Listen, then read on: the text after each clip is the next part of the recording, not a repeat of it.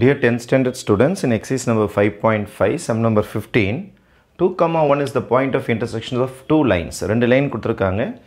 இந்த ரெண்டு ஈக்குவேஷனை சால்வ் பண்ணும் இந்த ரெண்டு ஈக்குவேஷனை சால்வ் பண்ணும் இந்த ரெண்டு ஈக்குவேஷனை சால்வ் பண்ணும் இந்த ரெண்டு ஈக்குவேஷன் சால்வ் பண்ணும். என்ன ஆன்சர் வருதோ அது இதுவாக இருக்கணும்.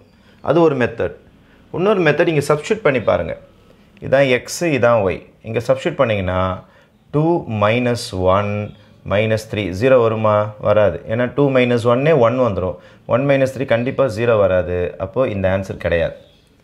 இந்த ஆன்சர் செக் பண்ணி பார்க்கலாமா? டூ ப்ளஸ் ஒன் எக்ஸுக்கு பதில் டூ ஒய்க்கு பதில் ஒன் போட்டால் த்ரீ வருது. பக்கா. இங்கே சப்ஸ்டியூட் பண்ணி பார்க்கலாமா? த்ரீ இன்ட்டு எக்ஸுக்கு பதில் டூ ப்ளஸ் ஒய்க்கு ஒன் அப்போ சிக்ஸ் ப்ளஸ் ஒன் செவன் பக்கா வந்துடுச்சு. அப்போது your option will be B is your exact answer இங்கே வந்துட்டாலே போதும். நீங்கள் முதல்ல செக் பண்ணவே தேவையில்லை.